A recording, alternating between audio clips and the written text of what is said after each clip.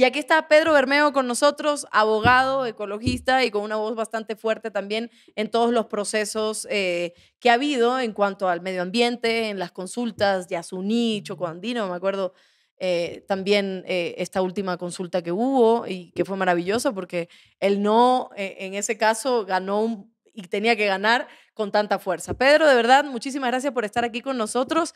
¿Cómo te va? Bien, bien. Sí. Perfecto, ahí está, que se acerca un poquito al micrófono, ya, ahí está. Eh, em, Pedro, cuéntame un poquito a nivel, al nivel general, cómo estás viendo tú las decisiones que está tomando el gobierno y empecemos eh, por el tema extractivista. Empecemos por las em, propuestas que había dado Guillermo Lazo.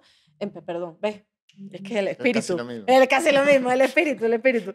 Eh, Daniel Novoa, tanto en el debate como toda su campaña, donde le habló a los jóvenes por el respeto al Yasuní, justo venía la consulta en el mismo momento, era el momento perfecto para capitalizar. em, digamos que sus muñecos de cartones también eran un poco ecologistas, ¿no? Porque es algo que se puede reciclar. Y después llega, hay una entrevista donde propone que incluso debería extenderse el tema del Yasuní un poco más. Fue a Canadá a hablar con las mineras, en fin. ¿Cómo has visto todo esto?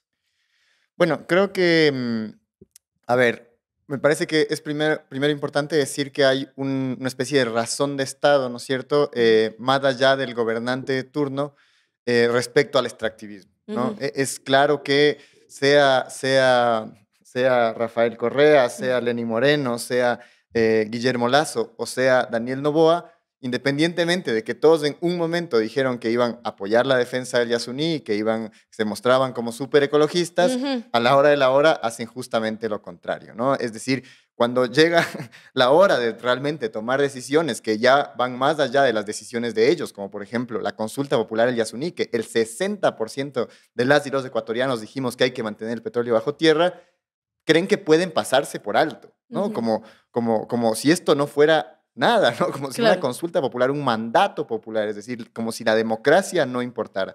Entonces creo que es, es importantísimo analizar esto eh, con esa perspectiva, ¿no? Entender que no es una cosa eh, que nos pasa ya una sola vez, sino que es común, ¿no? Que Es que- vienen estos políticos a engañar a los Es ecuatorianos. como decimos nosotras, eh, las feministas, que también todos los políticos utilizan el feminismo para su momento y después les importa un comino las mujeres y todo lo demás. ¿no? Así es, Básicamente, así es. lo del medio ambiente también es igualito. Así es, Vamos de la mano. Sí, ju- justamente, ¿no? Creo que la lucha feminista y la lucha ecologista están intrínsecamente vinculadas, más allá de esto, digamos, por lo que tiene que ver justamente con el cuidado, el cuidado de la naturaleza, el cuidado, de, ¿no es cierto?, de otros seres, el cuidado que suele ser una responsabilidad que en una sociedad machista y patriarcal recae sobre las mujeres, ¿no? Y son las mujeres las que principalmente, eh, con, con- con los, principalmente mujeres indígenas, quienes defienden los territorios Ujú. en todas partes del mundo, ¿no? Entonces creo que es importante tener esto claro porque vemos una y otra vez esto eh, de manera sistemática Sí. y, y vemos que las declaraciones del presidente Novoa, de hecho, digamos, utilizando estos mecanismos para llegar a los jóvenes a través del TikTok, haciendo videos en el que decía, por ejemplo, que el extractivismo ya está en el pasado, que eso es de los cavernícolas, ¿no es cierto? Y que llega al gobierno y lo primero que hace es justamente lo contrario, ¿no? Sale con una propuesta de, primero, una moratoria, a, digamos, vulnerar flagrantemente la voluntad popular. Y esto es importante que se entienda, porque es una especie de dictadura, ¿no? Lo que nos está proponiendo Daniel Novoa es una especie de dictadura. Es como si el día de mañana, eh, en las siguientes elecciones, ya no gana Daniel Novoa, gana otro candidato, ¿no? Gana otra candidata. ¿Ya? Y eh, Daniel Novoa decide no, no acatar esos resultados. Eso es lo que está haciendo Daniel Novoa con la consulta popular del Yasuní. Es así de importante, ¿no? y, y no nos sirve el pretexto de que, bueno, como no hay dinero en la caja fiscal, como estamos en guerra, como no sé qué, por favor que, eh, eh, eh, a- ¿cómo se llama? Arrime el hombre el Yasuní. Claro, No nos sirve eso, ¿no? Sí, es- y eso es otra, otra, otra característica bastante común en, en todos los políticos, ¿no es Sí. cierto? Decir que, bueno, que hay que arrimar el hombro, que todos tenemos que poner, pero ¿qué es lo que termina pasando? Vemos que eh, las leyes que se aprueban en la Asamblea Nacional, propuestas por el presidente, ¿a quiénes benefician y a quiénes perjudican? Siempre los perjudicados son las personas más pobres y la naturaleza, ¿no?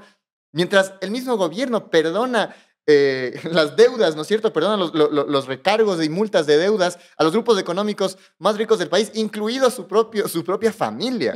Es decir, ¿de qué, de, qué, ¿de qué problema, de qué déficit fiscal nos están hablando? Decídanse, ¿no? Si estamos hablando de que hay un problema eh, en el tema económico. Bueno, veamos qué impuestos subimos y a quiénes beneficiamos y a quiénes perjudicamos, porque el impuesto que están subiendo nos afecta absolutamente a todos, a los más pobres. Y eso es justamente lo que nosotros como, como Yasunidos nos hemos opuesto eh, de, forma radical, ¿no es cierto? En buscar mecanismos que no afecten a los más pobres y que no afecten a la naturaleza. Y que creo que aquí eh, nosotros presentamos una serie de alternativas. Y para mí, quizás una de las más viables es justamente las exoneraciones tributarias. Y esto es algo que, como te decía, existe esta, razón de Estado que nadie habla, que nadie quiere ni siquiera hablar, ¿no? Y a pesar de que nosotros hemos intentado poner esto en todos los medios, en todos los espacios, ni siquiera se replica, nadie dice nada, parece que, que nos ignoran. Claro, no, no, es que, ¿para qué meterse? Te lo digo eh, porque para estas personas que no quieren replicar las cosas que realmente están pasando es como incómodo. ¿Para qué nos vamos a meter en eso? Yo me acuerdo cuando yo hice las entrevistas del Yasuní sobre el Yasuní, eh, que aquí vinieron también eh, amigos y amigas tuyas, que me parecía excelente, hablaban del tema de, de, los impuestos, que si realmente todo el mundo pagara los impuestos que deben ser pagados, no, no, no, no no hacía falta que, esto del Yasuní pasara, o sea, que sí pudiéramos estar tomando otras medidas. Claro, y tal vez es importante diferenciar porque aquí ahí suele haber una confusión. ¿no? Por un lado, hablamos de eh, los impuestos que, ¿no es cierto?, eh, las deudas en firme, ¿no? Las deudas en firme, es decir, los grupos económicos más ricos del país no pagan sus impuestos y simplemente no pasa nada, ¿no? Y esos impuestos están ahí, deudas en firme y no pasa nada. Hay otros impuestos que están, digamos, que están en litigio, otras deudas que están en litigio, pero que la mayor parte de ellas pasan a estar en firme en el futuro justamente porque son solo una forma de retrasar ese pago por parte de una estrategia legal de las empresas. Pero eh, por un lado tenemos esas deudas, que son alrededor de 2 mil millones de dólares, imagínate, y luego tenemos otras deudas, que no son deudas, sino son exoneraciones tributarias. Esto es una especie de subsidio, pero no es del subsidio a la gasolina, sino es del subsidio a los más ricos directamente. ¿no? Esto lo dice el mismo SRI, y aquí hay unas, unas cifras, digamos, impresionantes que justamente, por ejemplo, la economista Vilma Salgado, ex ministra de Economía, ha dicho claramente que representa, por ejemplo, desde el 2010 al 2022, eh, alrededor de 70 mil millones de dólares. Esto es más que el salvataje bancario, para que tengan una idea, digamos, de, lo que estamos hablando y dónde está la plata eh, de, los ecuatorianos. Es decir, ¿por qué estamos perdonando las deudas? ¿Por qué estamos em, eh, no cobrando los impuestos a los más ricos y además de eso, exonerándoles? ¿no? Es decir, todos los ecuatorianos tenemos que pagar impuestos, pero hay un grupo que principalmente, según el SRI, dice que alrededor del 90% de, estos, de estas exoneraciones va a los grupos económicos más ricos del país. Y a ellos no se les cobra, se les descuenta el impuesto. Entonces, ¿de qué nos están hablando? Si les falta plata, ahí está. No, se les descuenta y se les aplaude. A ver, si pagas este tema, entonces no te vamos a cobrar los intereses. Y, entonces como que qué lindo, ¿no? Y qué chévere. Y después sale la banca diciendo, pero ¿por qué si nosotros hemos hecho, hecho casi todo por el país? ¿Por qué a nosotros más, más cosas, más impuestos, más no sé qué? y uno se queda como que cara dura. O sea, esta mesa no es tan dura como la cara de esta gente. es que de verdad que es una falta de respeto. Y lo otro es el tema de los impuestos, el 15%. O sea, yo todavía sigo anonadada de que esto pase. ¿Me entiendes? Porque no estamos, y, entiendo que hay momentos, y ojo, no es que esté en contra de todo, pero hay momentos en un país, en, en una región, en donde tú tienes que tomar ciertas medidas económicas, pero que en serio no suban el 15%, afectando absolutamente y hablo no del 1% que tiene un montón de dinero y que son los millonarios y son los ricos de este país, sino el otro 99% que está jodido y que no sabe qué hacer y que se haya aceptado a costa también de nosotros es absurdo. Es, algo que yo todavía no creo. O sea, no sé. Sí, lamentablemente es, es, es una burla, digamos, a, a, a, a todos los ecuatorianos, ¿no? Que se pretenda subir eh, el IVA, se pretenda subir un impuesto que nos afecta directamente a todas las personas por igual, cuando justamente la Constitución establece, ¿no es cierto?, que tiene que haber una progresividad de los derechos, que tiene que haber una equidad, que se tiene que buscar justamente que los impuestos sean eh, retribuidos de manera equitativa y los que más tengan, más paguen. Y eso justamente es, por ejemplo, aumentar el impuesto a la renta, es decir, el impuesto que graba a la utilidad. Y en vez de hacer eso, nos, nos, nos imponen, digamos, un, un impuesto al consumo, ¿no? Entonces, eso, eso hace que se suba muchos, muchos, muchos productos eh, básicos que todos consumimos. Eso, eso hace que suba hasta la misma gasolina, esto hace que suba absolutamente todo. Esto encarece todo y además, digamos, inicia un proceso de recesión, es decir, que la, la, sociedad, ¿qué es lo que empieza a hacer? Si tiene, si tiene, si tiene que gastar más y ya no le alcanza, deja de gastar. Entonces, en vez de que la gente siga consumiendo, ¿no es cierto? Hay una, hay, hay un, la, hay una, la, economía empieza a, a, a digamos, a, a, decrecer en algún sentido porque deja de gastar, ¿no es cierto? Entonces, nos afecta a todos los ecuatorianos en vez de beneficiarnos, cuando podría justamente hacer otras medidas que sea en, en, lo que dice la Constitución, es decir, no tienen que innovar en nada, simplemente tienen que hacer lo que está establecido en la Constitución y es cobrar a los más ricos. ¿Por qué no lo hacen? Eso es lo que tenemos que preguntarnos. ¿Por qué Novoa, por qué eh, Lazo, ¿no es cierto? ¿Por qué Moreno buscan siempre... Em, afectar a los más pobres, afectar a la naturaleza, en vez de afectar a los más ricos. Y eso, y, por eso, digamos, vuelvo nuevamente a esta, a esta razón de Estado, ¿no? En la que tenemos que entender que vivimos en un sistema capitalista que tiene esta forma, ¿no es cierto?, de comportarse, en la que justamente eh, es la naturaleza son, son, los trabajadores los que siempre son explotados. Yo creo que mm, ahora que mencionas el capitalismo, porque mucha gente lo confunde con el tema eh, de esta situación económica como capital y los confunden con ideologías, izquierda y derecha y todo lo demás. Y yo sí quiero como desmarcarme un poquito, porque em, tú mencionaste el gobierno de Lenín Moreno, Guillermo Lazo y Daniel Novoa, pero también el de Rafael Correa, que es un gobierno que también vino eh, pensando en la izquierda y también desde un inicio habló de proteger el Yasuní y meses después vimos todo lo que pasó, en fin.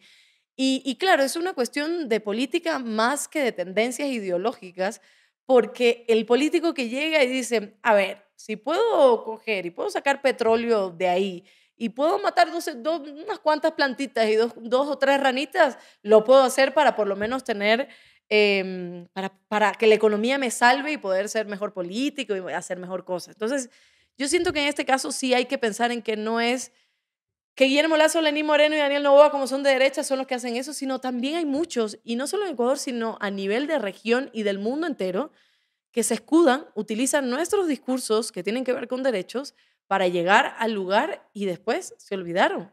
Y eso es lo que pasa, esa es la tendencia, al menos en Ecuador, ¿no? Sí, creo que eh, lamentablemente es así. Creo que, digamos, la diferencia quizás con el gobierno de Rafael Correa es que utilizaban, ¿no es cierto?, ese, ese ese supuesto dinero para beneficio de las clases populares, mejorar ciertas cosas de las clases populares. Pero no es solamente, no estamos hablando solamente de ranitas y, arbolitos, estamos hablando de pueblos y nacionalidades, pueblos originarios que vivían aquí antes de que exista la República del Ecuador, como son, por ejemplo, los pueblos en aislamiento que están en el Yasuní, ¿no? Son pueblos indígenas que viven en aislamiento, que no tienen un contacto con el mundo occidental, que buscan no tener un contacto y que de hecho cualquier tipo de contacto puede significar el exterminio total de, de, su, de, su, de su pueblo, ¿no? Entonces, no es una cuestión de, solamente matar ranitas. Y además, digamos, creo que aquí se ancla con otro problema y es eh, el tema de la crisis climática. Y eso es algo que, que, más allá de ser de izquierda o de derecha tenemos que entender. La economía no puede seguir creciendo como si no hubiera digamos, un límite.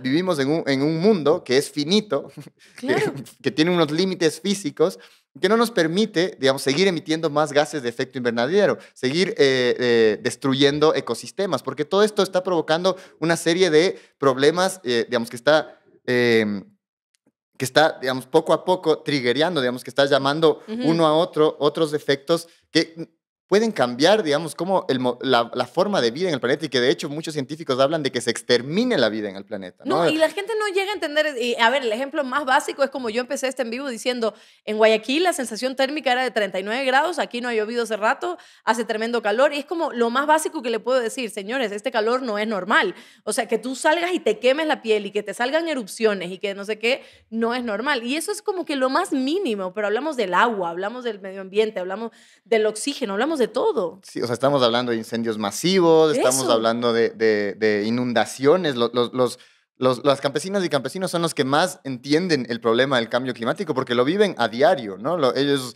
están, digamos, totalmente conscientes de que por alguna razón hace varios meses que no llueve o por qué está lloviendo tanto, ¿no? Entonces, son cosas que cada vez se vuelven peores. Esto es muy importante decirle a la ciudadanía, principalmente creo que los jóvenes son los que entienden esto de mejor manera. no es que no es que ya se empeoró un poquito y va a quedar ahí. Esto sigue poco a poco avanzando, ¿no? Es decir, cada vez es peor y no hay vuelta atrás. Hay un momento del que se conoce como el punto de no retorno. Y si pasamos de ese punto de no retorno, por ejemplo, la Amazonía se convierte en un pastizal, se empieza a autodestruir justamente por la sequía. ¿No? Y esto es algo que hay que entender, porque la Amazonía es la que lleva el agua al resto de, de, de, Latinoamérica, o sea, ni siquiera solo Ecuador, sino estamos hablando de todo el mundo está sufriendo esto, esto, este, este colapso climático, ¿no? La importancia de justamente mantener el crudo bajo tierra es la única forma en la que los científicos han encontrado eh, que es posible no aumentar más de 1.5 grados el planeta. Y eso es justamente lo que estamos haciendo las personas eh, que defendemos la naturaleza, que defendemos los territorios y principalmente serían los pueblos y nacionalidades que han defendido de manera histórica sus territorios y que han defendido de manera eh, sistemática la naturaleza, ¿no? Y es ahí donde nosotros, por eso justamente respaldamos el accionar de la CONAI y respaldamos el, accionar del movimiento indígena, que aquí, digamos, ha sido fundamental no solamente para, eh, las, para el movimiento indígena, para los pueblos y nacionalidades, sino para las clases populares en general. Ya, y mm, vamos a hacer una pausita para saludar a la gente. Me dice que, eh, que pasen el Instagram tuyo, que ya tienes fans aquí.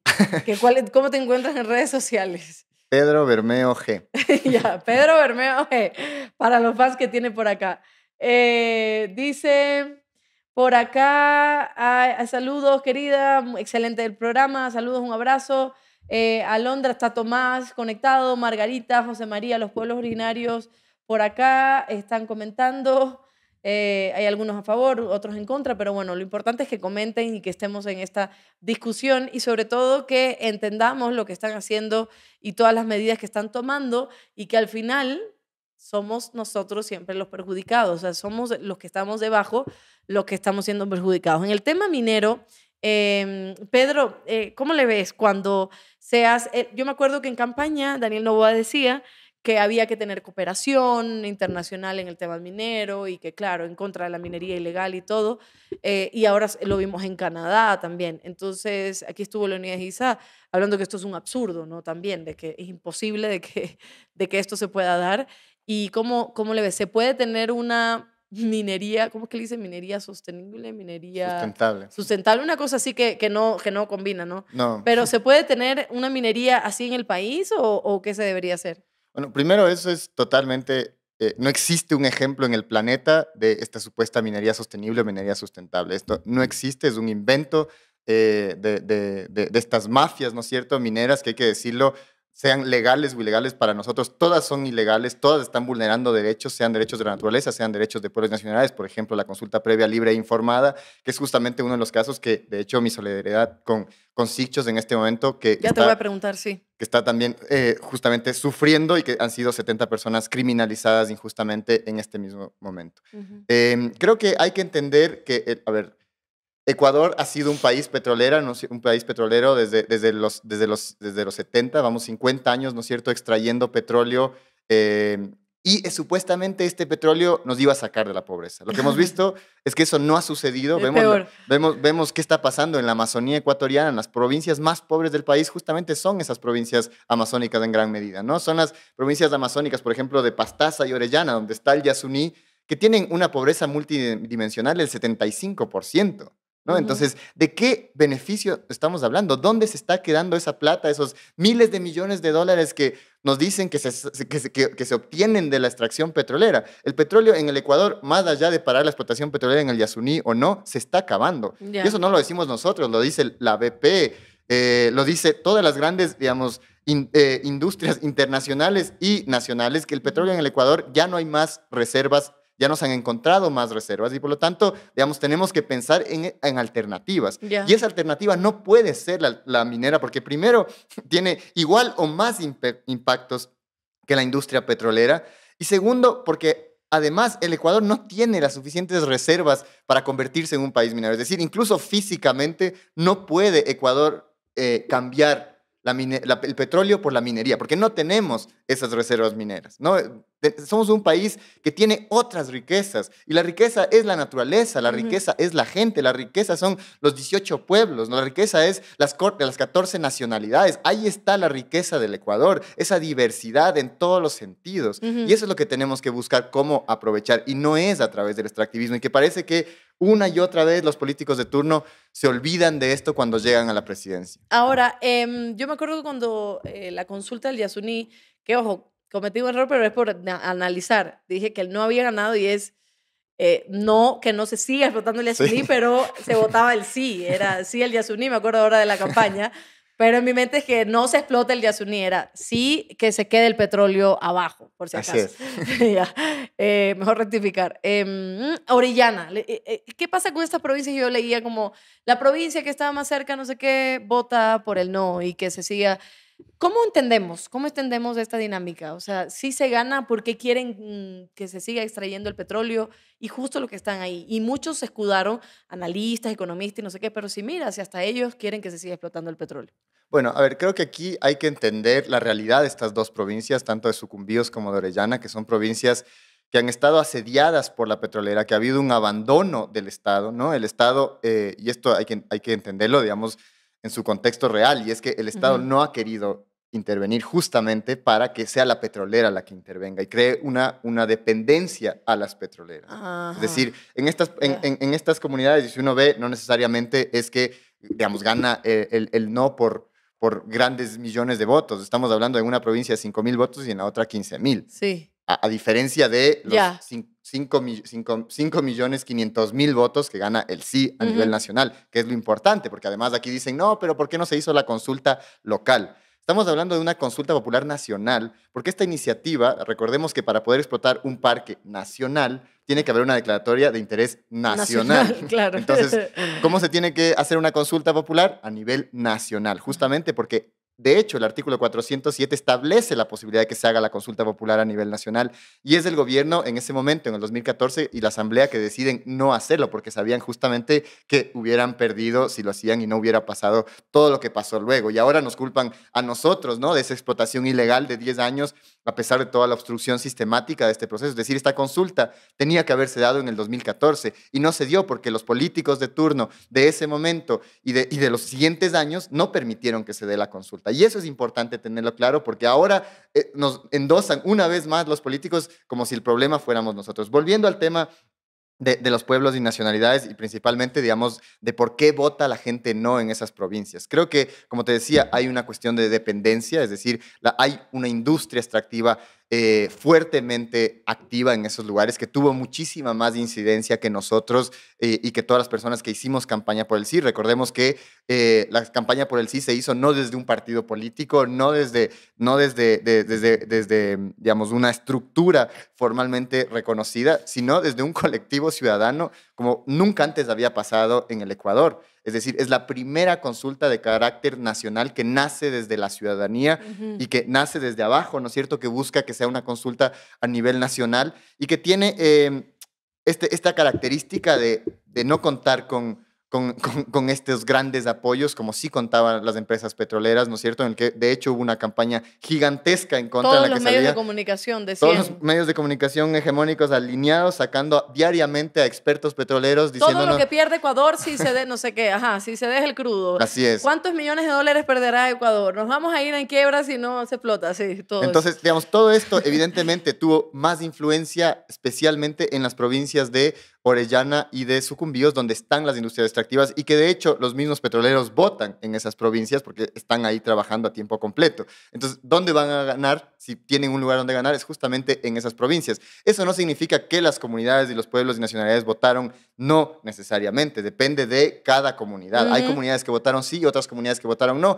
Y además de eso, no podemos olvidarnos que hay pueblos en aislamiento y esos pueblos en aislamiento no votan. No, evidentemente no tienen una cédula, no salen a votar, no, no tienen ninguna o buscan no tener ningún tipo de contacto con el mundo occidental. Pero eso no quiere decir que su vida y que sus derechos no importan. Por eso tenemos un caso ante la Corte Interamericana de Derechos Humanos, que es un caso incluso que va más allá del bloque 43 y que afecta a toda la región justamente por todas las vulneraciones de los derechos. De, recordemos que ha habido varias masacres, matanzas en, los últimos años, en el 2013, en el 2006 y en el 2003, a estos pueblos y nacionalidades que están afectados y como digo, son los pueblos en aislamiento. Entonces creo que es un es un análisis más complejo para poder entender qué pasó en esas dos provincias, por qué gana eh, el no, pero que la consulta popular es a nivel nacional. Y, ahora querer decir que esa consulta popular, como es, tiene que hacerse solamente a nivel local, eh, no tiene ningún sentido, porque sería como decir como en Manabí no ganó, no ganó Daniel Novoa, entonces ahí gobierna otro presidente, ¿no? La Claro. consulta popular a nivel nacional tiene que aplicarse a nivel nacional. Y, y aquí alguien me pregunta, ¿y por qué no preguntaron a todos sobre el choco andino? Eso sí es un poco más obvio también, ¿no? Eso es una, es, una, es una cuestión local, como digo, no estamos hablando de un parque nacional, estamos hablando de una región que es sumamente importante y que se busca conservar, que es justamente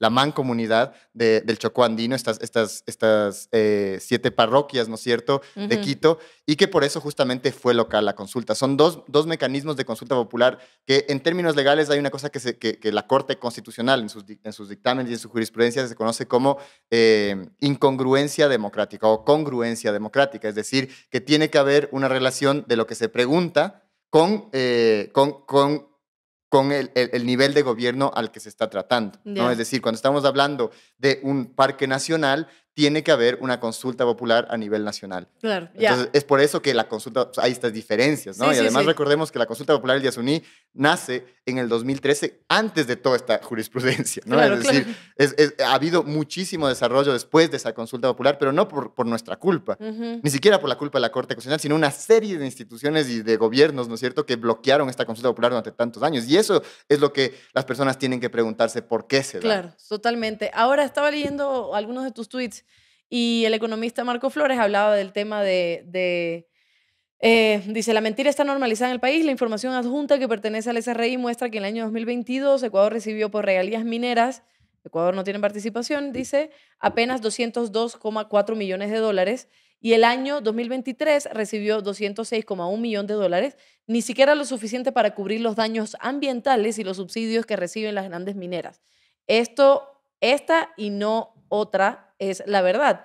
Y tú también dices que es imperativo frenar el extractivismo porque no solo, como me estás diciendo, vulnera los derechos humanos, eh, sino que el tema de las regalías mineras es apenas, me dices tú, el 200, cero, sí, 202 millones de dólares, que es apenas el 0,5%. O sea, ¿qué significa este tema de las regalías? Al final estamos eh, regalando todo nuestro ecosistema y nuestra biodiversidad para absolutamente nada. Literalmente es así. Lamentablemente hay un, hay un, digamos, una- se crea toda una narrativa alrededor del desarrollo, ¿no? Para que eh, desde hace 500 años, ¿no es cierto?, vengan a saquear al, al sur global, ¿no? Al sur global me refiero a Latinoamérica, África y otras partes, ¿no es cierto?, del Ujú. mundo, que son básicamente las periferias del mundo. ¿no? Ujú. Eh, Ha habido una división internacional del trabajo que divide entre las- los, la- los núcleos en donde el desarrollo llega y de dónde sacan ese desarrollo. ¿no? Entonces ha sido a través del saqueo de, de- de- América del Sur que, por ejemplo, Europa se ha enriquecido.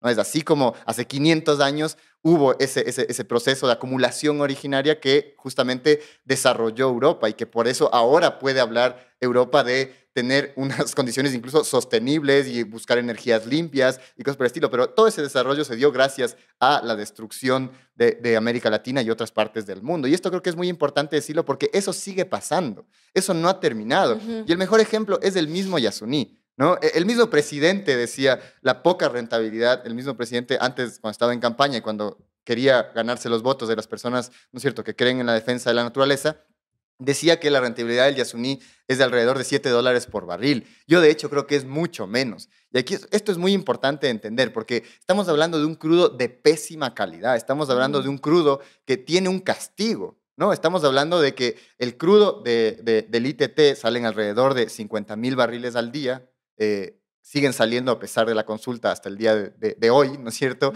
Em, y este petróleo no es un petróleo como el resto del petróleo que sale del Ecuador, ¿no? Tenemos diferentes grados API, que es justamente qué, qué tan buena calidad es ese petróleo, por decirlo de una manera sencilla, ¿no? Y ese petróleo, grado API, por ejemplo, en la mayoría de campos es de alrededor del 20 a 30 grados. En el ITT es alrededor de 8 a 14 grados. Ya. ¿Y esto qué significa? Que este petróleo están mezclando en, en, eh, en el crudo napo, ¿no? que es uno de los de la forma de transporte de ese petróleo, ¿no es cierto? Tenemos oleoductos y ese, eh, ese petróleo se mezcla con el crudo napo. Esto hace que haya un, un castigo a ese petróleo. Es decir, a nosotros no se nos paga si el precio eh, WTI de- del, del- del- del petróleo está en, en 70 dólares, a, a nosotros se nos paga 60 o se nos paga 50. ¿No? ¿Por qué razón? Porque hay un castigo por la mala calidad del petróleo.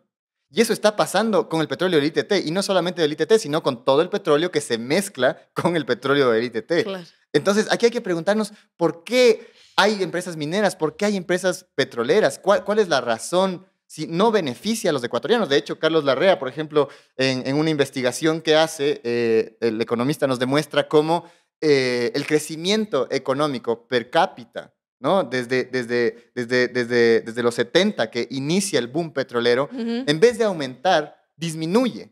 ¿no? Estábamos a 2.2 antes de, eh, del boom petrolero, viene el boom petrolero y en promedio, en vez de aumentar, disminuye a 1.7. ¿Por qué razón? Claro. Porque el petróleo es, es como una ruleta rusa.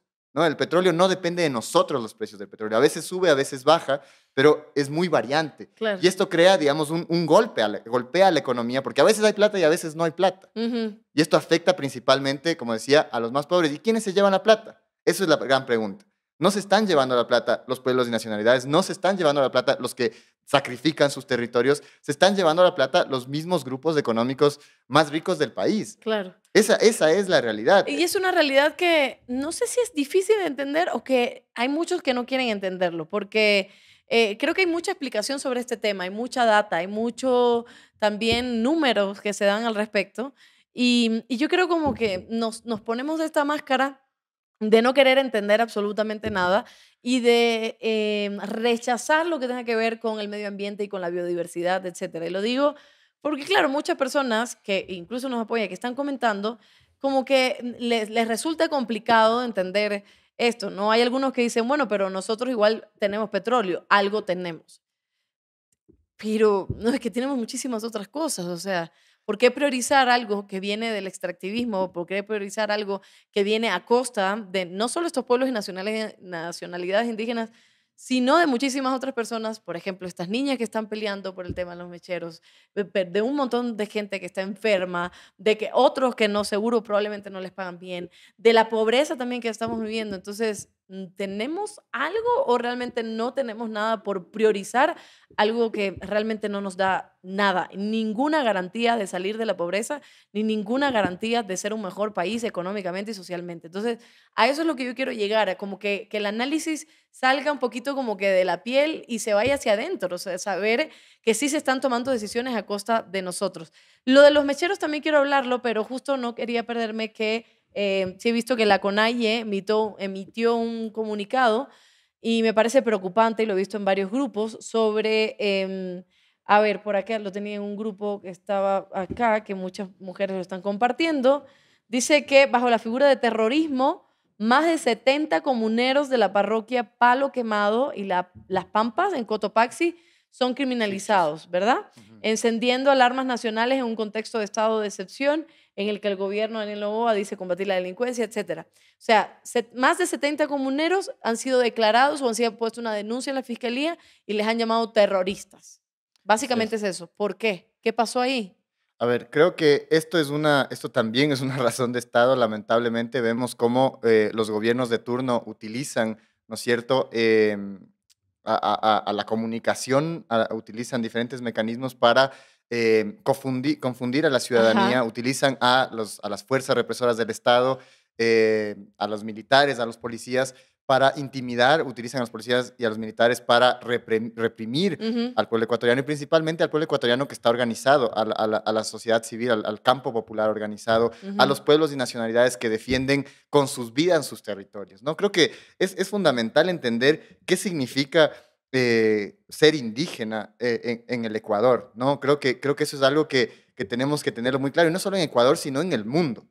Los indígenas, eh, hay varios estudios que nos demuestran que los indígenas eh, protegen alrededor del 60 al 80% de la biodiversidad en el mundo, que como te decía, es fundamental esa biodiversidad para que no hayan más desastres ambientales, que como te decía, se multiplican en los últimos años por alrededor de por 4 a, a 8, justamente, y además su intensidad. Entonces, digamos, Creo que es fundamental entender que los pueblos y nacionalidades, los pueblos originarios han cumplido un rol fundamental en el mundo y especialmente en el Ecuador, Ujú.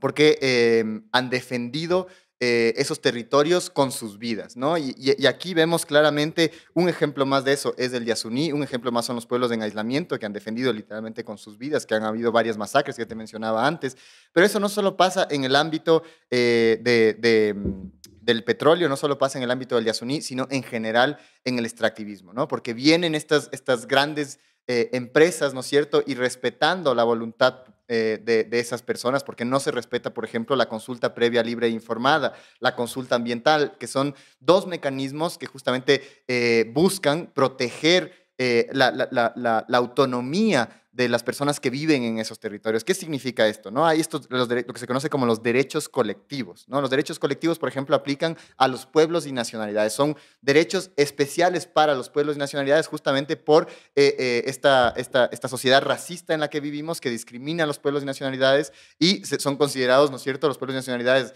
eh, para los grandes grupos económicos, para los gobiernos, como ciudadanos de segunda. Claro. Y es por eso que eh, se, se, crea toda esta, en el derecho, ¿no es cierto?, toda esta rama de los derechos colectivos que protege a los pueblos y nacionalidades, entre ese la consulta previa, libre e informada, porque ¿dónde se dan la, ¿dónde se da el extractivismo? Principalmente en territorios de pueblos y nacionalidades, ¿no? Entonces, la consulta previa, libre e informada, que Ecuador eh, es, parte, por ejemplo, del convenio de la OIT, que justamente reconoce que esta consulta tiene que ser vinculante, que nuestra constitución establece que esta consulta tiene que ser vinculante, que la Corte Constitucional ya en varias sentencias ha dicho que tiene que ser vinculante. ¿Qué es lo que hace el gobierno de Novoa? Saca un acuerdo ministerial cuando esto debe ser regulado por ley, porque así lo establece la Corte Constitucional, lo establece la ley, uh -huh. lo establece la Constitución y eh, hace, un, hace un acuerdo, ¿no es cierto?, ministerial y dice, bueno, ya tenemos, hagan la consulta previa informada, que es básicamente una socialización de que van a explotar ahí y van a intimidar, van, van con armas, ¿no es cierto?, van personas armadas, van militares, van policías y intimidan a la comunidad para que ya se quede callada, no diga nada y comience la explotación petrolera o minera. Es así como funciona de manera sistemática el extractivismo en el país. Y eh, este caso de Sicchos no es la excepción. Lo que pasa es que la gente se levanta, la gente resiste, defiende sus territorios y que está en, en su derecho, ¿no es cierto? El derecho a la resistencia es parte de sus derechos. Sí. Y sin embargo, eh, eh,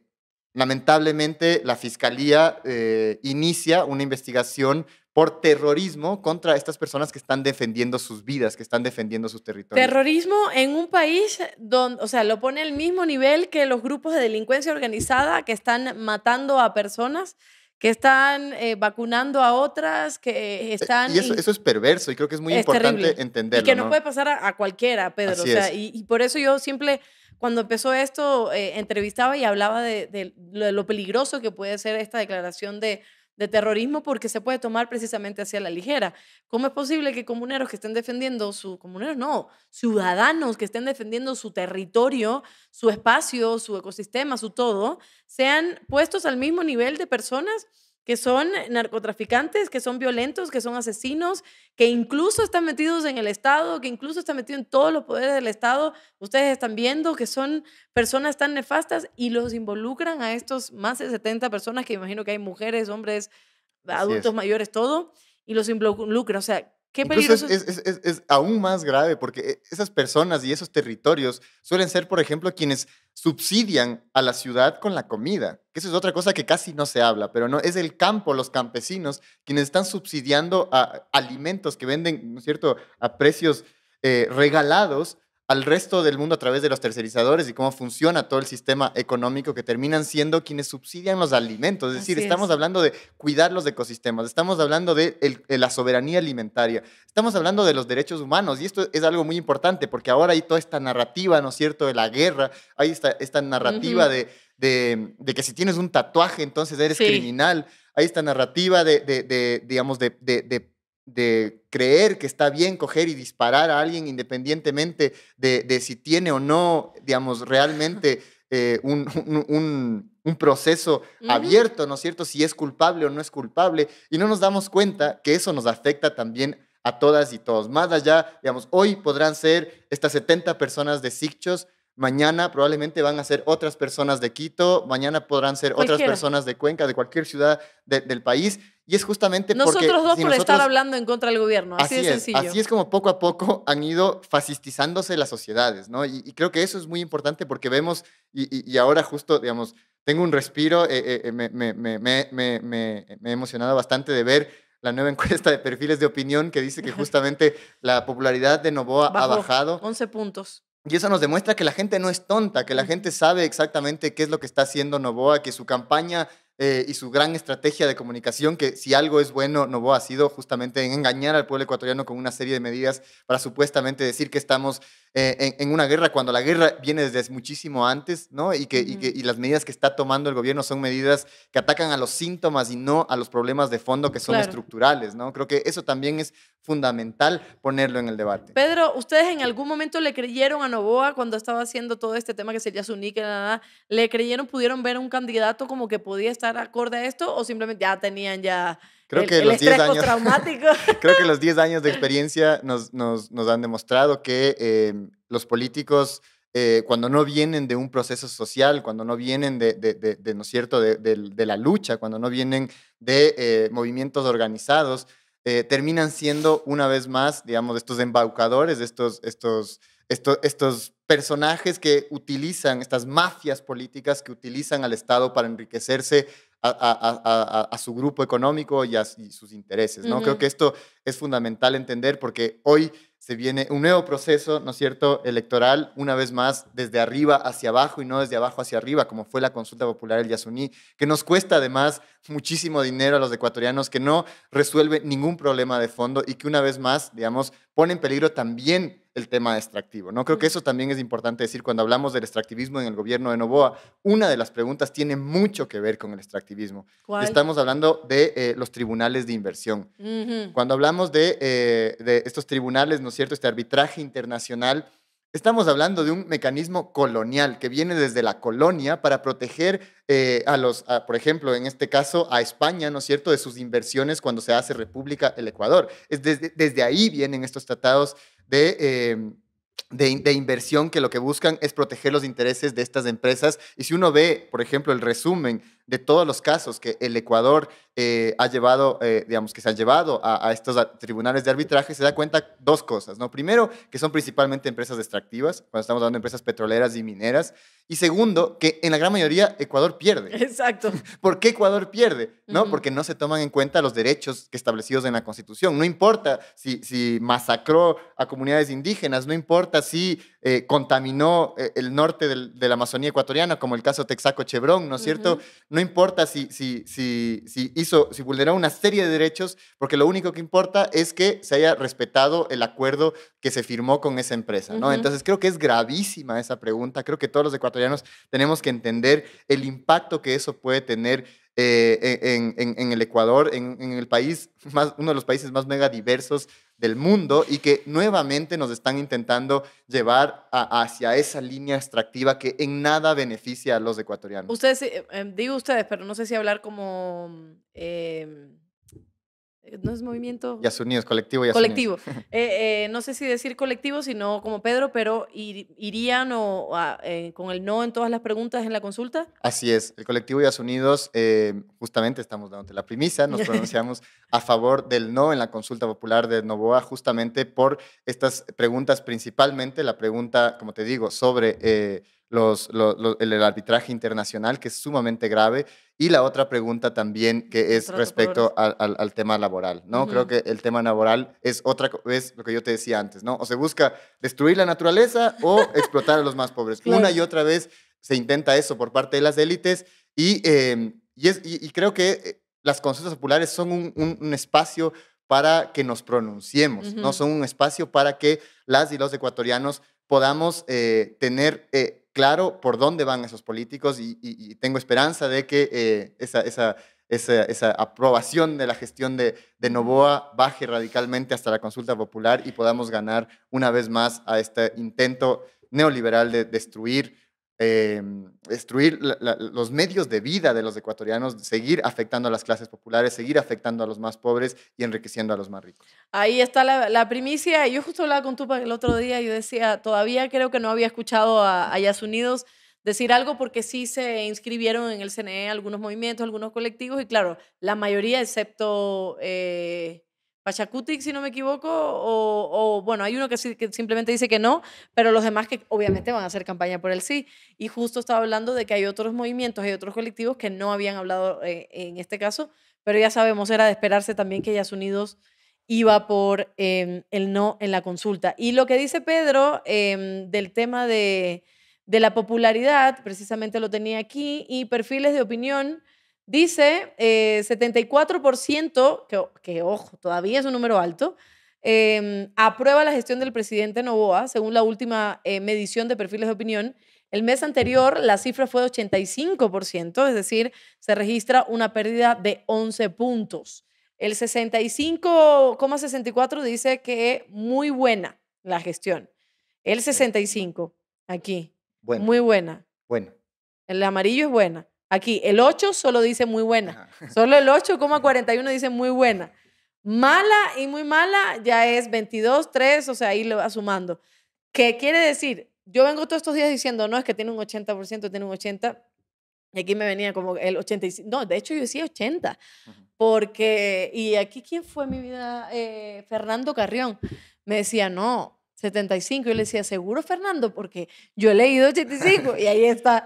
Fernando es muy sabio, la verdad. Y me dice, y claro, eh, 75 aprueba la gestión. Sigo diciendo que es un número altísimo todavía, pero sí va bajando. O sea, y todavía, y es lo que digo en todas mis entrevistas, faltan nueve meses, un poquito menos tal vez, em, para el 2025, para que empiece la campaña, para todo esto y que pueden pasar un montón de cosas en este aspecto. La Sí consulta popular es antes. Claro, pero- sí, sí, pero la consulta popular es una medición también que tiene él, que básicamente probablemente tenga ese porcentaje, ¿no? De aprobación en la consulta popular. Esperemos que menos. Aunque dicen Ah, que... recordemos cómo fue la consulta de Lazo. Eso, eso, Recordemos cómo fue la el- consulta de Lazo, que el- Yas Unidos también hizo campaña por el no y que los movimientos sociales logramos revertir ese. Sí, ese- allá ese- voy, porque si no me equivoco fue Dávalos que nos decía, cuidado porque la consulta de Lazo fue igual.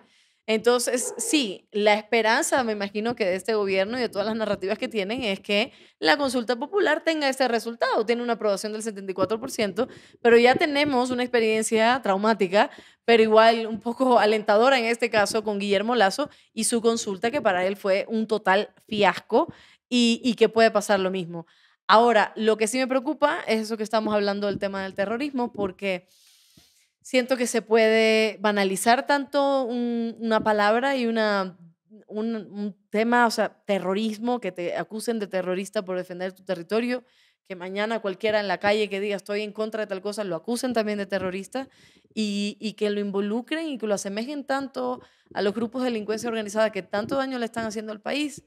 Eso sí me, mm, me genera mucho, pero mucho temor, porque Sí. todavía falta. Igual creo que es importante recordar aquí sí, eh, por ejemplo, también sucedió lo mismo en el correísmo, ¿no? Está el caso de Javier Ramírez de, de INTAG, que también fue criminalizado y que nunca, a pesar de que lo tuvieron preso durante más de un año, nunca se logró demostrar ningún terrorismo, justamente porque él también defendía su territorio y defendía a INTAG, y ahora vemos que INTAG no solamente ha, no solamente, digamos, ha ganado to- en, todas las, en todas las instancias eh, la defensa de su territorio, la defensa de, sus derechos, sino que también tiene una serie de alternativas impresionantes eh, en lo que tiene que ver con producción de energía eh, hídrica, por ejemplo, eh, a, pequeña escala, evidentemente, y una serie de otras alternativas de in- in- ingenierías y, digamos, eh, digamos, potencias que podrían explotarse sin destruir la naturaleza, que son muy interesantes. Creo que es, es clave que eh, entendamos que esta narrativa, como te decía, es una razón de Estado, que por un lado nos, nos, no- nos, nos, nos, nos dicen claramente que no hay cómo topar a las élites, que el extractivismo es algo que se debe mantener y que cualquiera persona que se, cualquier persona que se opone tiene que ser criminalizado o asesinado. Recordemos que un dirigente de la, de la CONAIE, Eduardo Mendúa, fue asesinado justamente por... eh, proteger, eh, proteger, proteger la naturaleza, eh, luchar en contra del extractivismo petrolero. Lo mismo sucedió con muchos otros líderes eh, que han defendido sus territorios aquí en el Ecuador y en todo Hay el mundo. muchas personas, y me acuerdo cuando estábamos haciendo, estábamos conociendo todo el tema del chocandino, muchas personas que nos decían que, claro, se, se los decía como, se los catalogaba como terroristas, que todavía están en papel y constan como terroristas, y es como, es. y esto es un mecanismo utilizado por todos los gobiernos, es lo que venía diciendo, que esto básicamente poco tiene que ver con lo que dicen los libros, que es izquierda y derecha, y tiene mucho que ver con el ser humano, el ser político y cómo nos utilizan a, a todos. Entonces sí, quitémonos un poquito esa venda y, y pensemos que hay mucha gente que ha sido violentada, estigmatizada, que sus ideales y su lucha también ha sido invalidada por muchísimos gobiernos, y no es solo de ahora, sino de hace mucho tiempo. Y ahora me acaba de llegar... Tal vez ese- solo a la, a la fiscalía decir que, por Dios, se ubique eh, qué es lo que está haciendo, a quién No. está persiguiendo. Está persiguiendo a campesinos, está persiguiendo a indígenas que defienden sus territorios. No debería estar buscando a los supuestos criminales, porque esa es otra cosa, ¿no? Mientras, mientras están persiguiendo a personas que defienden sus territorios, los grandes grupos económicos, la- la- los- las grandes mafias, ¿no es cierto?, no son ni siquiera llamadas a juicio, ¿no? Mm, pero- ni siquiera se atreve a llamarle Claro, a juicio al pues. pre- al, expresidente Lazo, que tú mencionabas al comienzo, ¿no? Es decir, Sí. la, fiscalía, eso sí, no hace absolutamente nada, a pesar de que está vinculado en el caso, en el caso ¿no es cierto?, de, de su cuñado. en Pero el es caso... que, Pedrito, es como, es que nosotros somos como y los inocentes, ¿me entiendes? Los ingenuos. Porque hacernos esa pregunta, pero si ya sabemos que la fiscalía, la fiscalía va a estar solo tratando de hacer lo mismo. O sea, es que no quiero meterme en esos temas todavía, pero lo que trata es simplemente de seleccionar. Es una fiscalía muy selectiva en donde Así Vaya, es. olvidémonos por un momento de metástasis y de todo eso, porque ahora es la, la gran superheroína, la fiscal. Yo voy a lo que a mí también me interesa mucho, que es el tema de las mujeres. ¿Cuántas mujeres han ido a denunciar en fiscalía es. que sus casos no, y, y se han muerto y las han matado, eh, productos de víctimas de femicidio, y la fiscalía nunca ha hecho nada? Hay un fiscal, en el caso, si no me equivoco, de Naomi Arcentales, hay un fiscal que la violentó, que hay video que la está golpeando, y ese y ese tipo lo que está es en la calle, está en Tinder. El otro día, el otro día pusieron, está en Tinder. El tipo está buscando nuevas presas. Porque eso es, está buscando nuevas víctimas. Y es fiscal. Entonces, a eso es lo que yo voy. Y en eso sí alzo la voz y me molesta.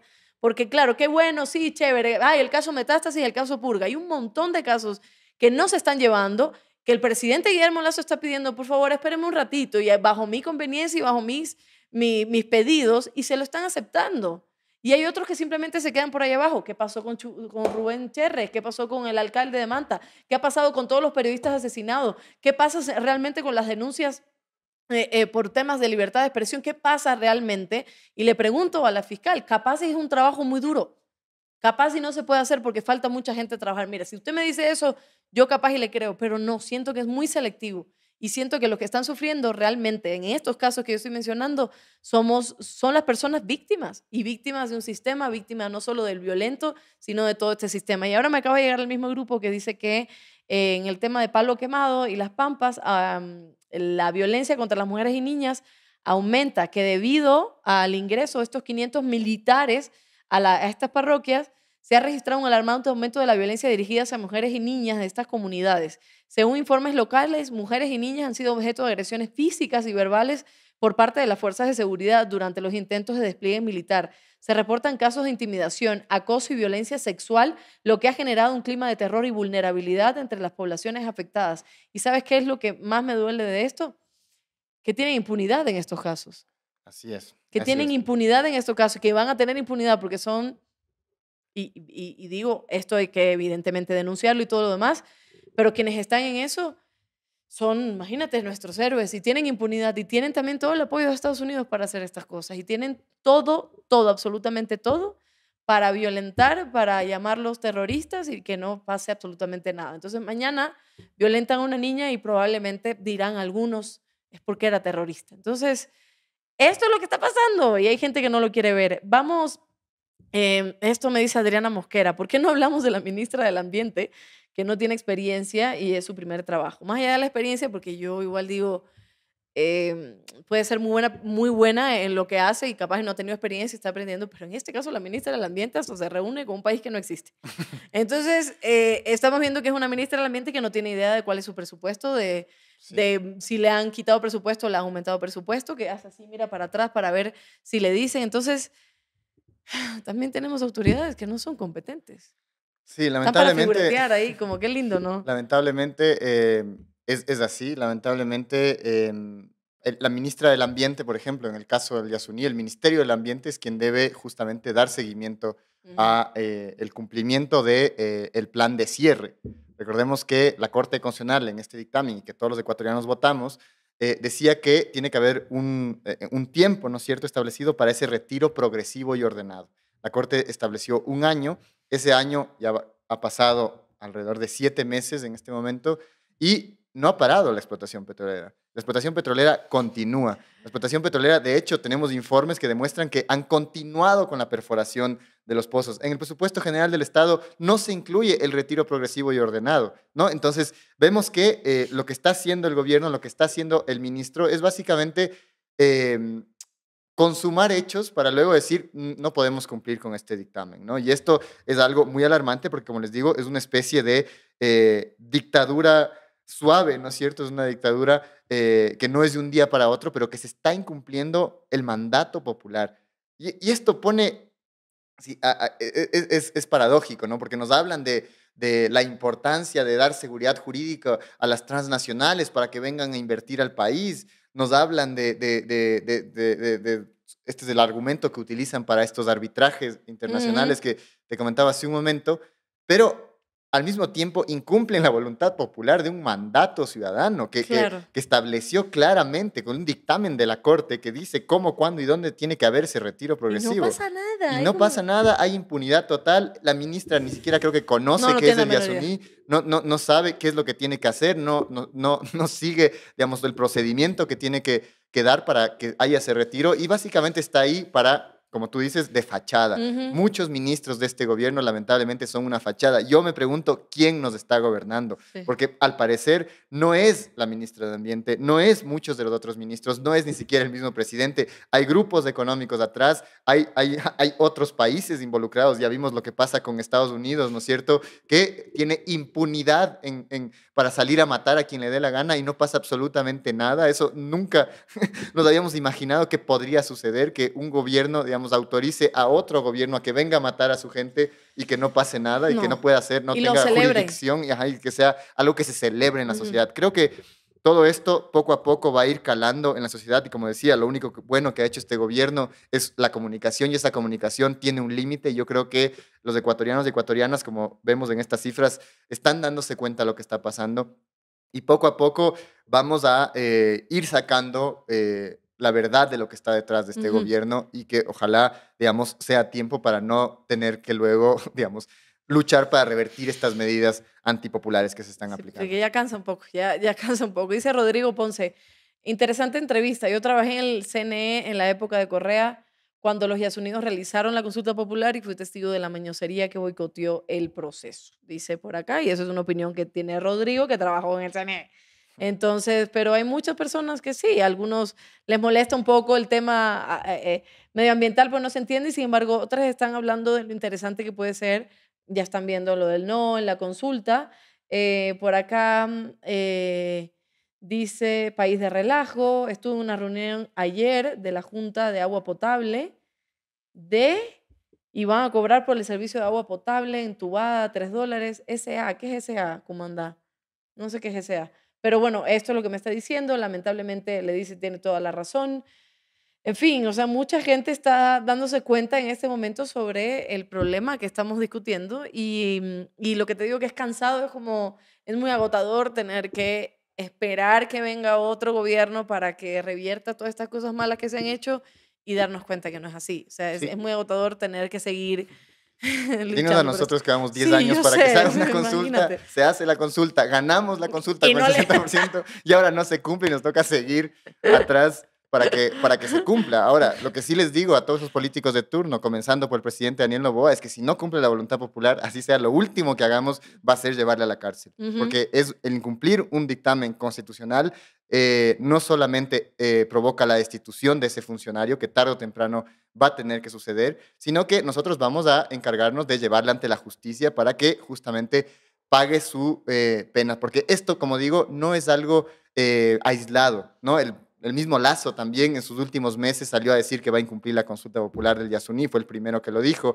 El presidente Correa también salió a decir que hay que no cumplir esa consulta, que hay que hacer una moratoria. Es decir, una y otra vez los políticos salen a decir que pueden incumplir con mandatos populares, que pueden pasarse por donde les da la gana la democracia. Moratoria no pueden hacer, o sea, no hay forma constitucional de que No diga- existe, no, existe. Tiene que cumplirse lo que dice la Corte Constitucional. Estamos hablando de derechos humanos, estamos hablando de derechos de la naturaleza, estamos hablando de la democracia, de un Estado de derechos. Si quieren defender, y con eso, digamos, termino la idea que decía antes sobre la seguridad jurídica, ¿no es cierto?, que nos hablan. Si quieren defender la bendita seguridad jurídica, defiendan las decisiones del pueblo ecuatoriano, defiendan las decisiones de la Corte Constitucional, de las instituciones. Es ahí donde nosotros podemos actuar, ¿no? Y creo que eh, esto lo quisiera complementar con, con entender que no podemos esperar a que venga un político que nos salve la vida. Creo que quizás esa es la, la- la lección más importante que yo he tenido en, mis años de activismo, ¿no? Es entender que no va a venir un político a, a salvarnos la vida, ¿no? A salvar la democracia, a salvar el país. Somos las y los ecuatorianos que tenemos que salvarnos a, nosotros mismos. Y la única forma de hacer eso es organizándonos, es buscando la forma de eh, trabajar colectivamente, de hacer un puño, ¿no? Hacer un solo puño, todas estas luchas eh, sociales, la lucha feminista, la lucha LGBT, la lucha ecologista, la lucha de los pueblos y nacionalidades, la lucha de los trabajadores. Creo que está ahí, ¿no es cierto?, ese poder eh, popular que puede cambiar realmente la, sociedad. Y yo creo que en el Ecuador lo vimos claramente. Eh, es paradójico que, por ejemplo, la presidenta de la Cámara de la Minería salga a decir que que Ecuador refrenda la voluntad, ¿no es cierto?, al, al, firmar estos convenios con Canadá para las industrias extractivas mineras, cuando, cuando los ecuatorianos estamos en contra de la minería y no hay una consulta, hay como más de cinco consultas populares que lo demuestran. Está la consulta popular del Yasuní para el tema extractivo a nivel nacional. Está la consulta popular que hubo unas preguntas de Lenny Moreno, era sobre la minería, que ganó con el mayor número de votos. Está la consulta popular de Quimsacocha, está la consulta popular de Cuenca, que ganó con el 80% de los votos. Es decir, los ecuatorianos estamos en contra de destruir la naturaleza. ¿Qué parte de esa los políticos no entienden? Si cualquier demócrata respeta la voluntad popular, eso significa parar la minería, parar el extractivismo petrolero. Y no digo que paremos de un día para otro y que volvamos un caos a la ciudadanía, pero comencemos a hacerlo, ¿no? Dejemos de al menos seguir abriendo nuevos campos. Tal vez solo para, para terminar, creo que es importante decir a la, ciudadanía que te decía sobre, digamos, esas, esas críticas sobre el tema ambiental o, o que nos importe tanto el tema ambiental no estamos hablando del tema ambiental cuando hablamos de proteger a los pajaritos, estamos hablando de la vida de los seres humanos. Creo que ahora hay ya, digamos, el 99.9% de los científicos creen que el cambio climático es antropogénico, es decir, es producto de lo que hacen los seres humanos. ¿Quiénes de los seres humanos? Los grupos económicos más ricos del mundo. El 1% de, los, del mundo emite lo mismo que los dos tercios más pobres. ¿No? El 1% más rico emite lo, mismo en gases de efecto invernadero que el 1%, los dos tercios más pobres de la población en el planeta. ¿no? Entonces, creo que hay que entender que hay un problema que está poniendo en riesgo la vida en el planeta, que no estamos hablando de, de, de, cuidar la naturaleza porque es bonita, que es creo que hermosa la naturaleza y que también debería cuidarse por eso, pero estamos hablando que eso nos, nos permite vivir, que si no hay naturaleza no tenemos agua. Nosotros siempre nos dicen, pero si ustedes tienen celulares, ¿por qué tienen celulares si son ecologistas? Yo les digo, bueno, pero ustedes dejen de respirar, pues entonces sí. Si, esa es la contradicción. Si hablamos de una contradicción, ¿qué contradicción más grande que no cuidar lo que nos permite vivir? De eso estamos hablando. Estamos hablando de, de, cuidar lo que nos da de comer. Estamos hablando de cuidar lo que sostiene nuestras vidas y además de evitar, además de evitar grandes desastres, incluso económicos, porque cuánto nos cuesta, por ejemplo, las inundaciones provocadas por el fenómeno del niño. Terrible. Cada vez el fenómeno del niño se vuelve más fuerte y esto se da justamente por el calentamiento global, por la crisis climática, por la pérdida de biodiversidad. Si no hacemos algo ya ahora, el planeta va hacia un rumbo que, no que ni siquiera los científicos pueden predecir la cantidad de desastres naturales que va a haber. ¿Cuánto nos va a costar eso? Si les preocupa la economía, les preocupa el cambio climático, les tiene que preocupar eh, proteger la naturaleza, porque todo está conectado. ¿no? Entonces creo que aquí es importantísimo que las y los ecuatorianos entendamos eso y que para mí lo tienen muy claro y lo demostramos en esta consulta popular, porque son los más pobres. Eso es quizá lo más bonito de esta consulta popular, que, no, que, que, está justamente vinculada con un ecologismo popular de la calle, que son las personas, las, organizaciones sociales que salimos a las calles a hacer campaña, las que logramos que la gran mayoría de los ecuatorianos vote a favor de cuidar la vida, mientras las élites, uno puede ver qué pasa con, en Quito, ¿no es cierto? Los, los barrios más ricos votan en contra de la consulta, ¿no? Porque están protegiendo sus intereses. Pero lo bueno es que los pobres, ¿no es cierto? Son la gran mayoría, somos las personas que tienen la posibilidad de cambiar las cosas si justamente nos organizamos. Y es hacia allá donde yo voy, ¿no? Con esto que digo, en que no esperemos que alguien venga a salvarnos, sino que nosotros mismos nos organicemos, que justamente es el movimiento social, que es organizaciones como la CONAIE, ¿no? que realmente han representado mucho más allá de si es alguien, si es una, organización la que ha parado el neoliberalismo en el Ecuador, no, no en los últimos años, sino de manera histórica, ¿no? desde, desde los 90, eh, es justamente la CONAIE, es justamente el movimiento indígena. Entonces es ahí donde nosotros y las demás personas tenemos que confluir para, eh, para poder... Eh, proteger la vida en el planeta, para proteger nuestros derechos, para defendernos, ¿no es cierto?, de estas mafias políticas que, como te digo, ahora también están en el poder. No solo son esos grupos organizados, esos GDOs, los lobos y tal que, que, nos mencionan, sino también son los que nos gobiernan. Así mismo es, así mismo es, me quedo con eso. Dice hay que aprender a convivir con la naturaleza, dice Jorge Cheme.